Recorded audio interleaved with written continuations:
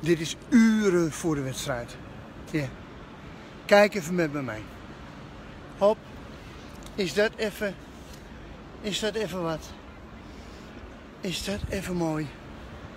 De Kuip. Wauw. De rust ook nog. Hier. Die er heerst. Dat is zo mooi. Ja, weet je wat het is met de hele discussie ook? Rond, het Feyenoordstadion. Ik bedoel, ja.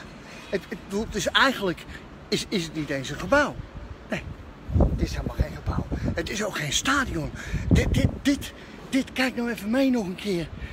Dit is, dit is gewoon een gevoel. Ja.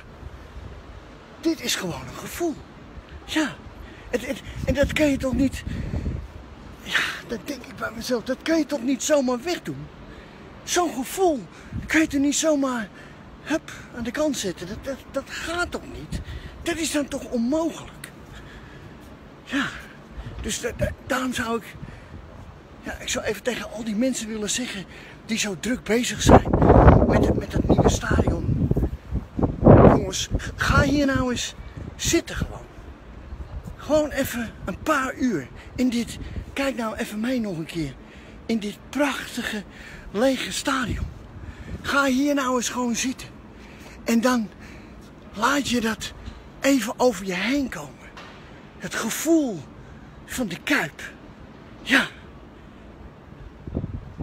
Denk daaraan als je die beslissing neemt.